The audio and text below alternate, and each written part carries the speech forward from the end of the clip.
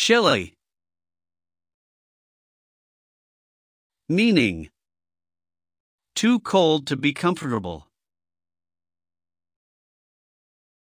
Example sentences. It's chilly today. I was feeling chilly.